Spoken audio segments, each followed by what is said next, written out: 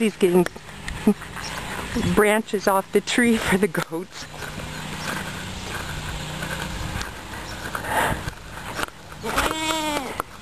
Hi, Brooke. Are you happy your mother-in-law's here?